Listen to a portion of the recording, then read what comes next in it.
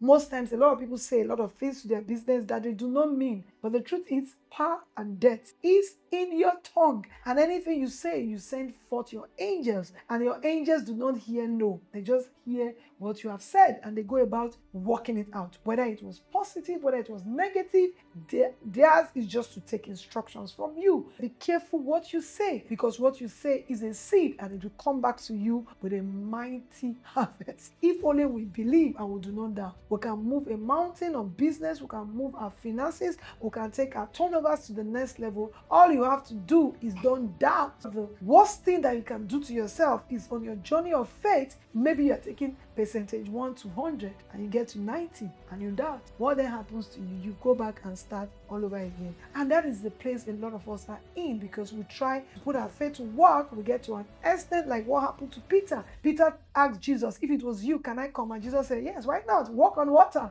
And Peter started to walk on water. And guess what happened to Peter? He saw the winds and he saw the waves and he began to doubt himself and he started to sink.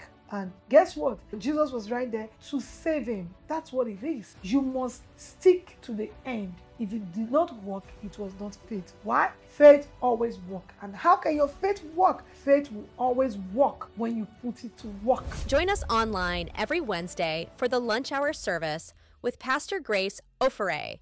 For further details, please reach out to us via the number displayed on your screen.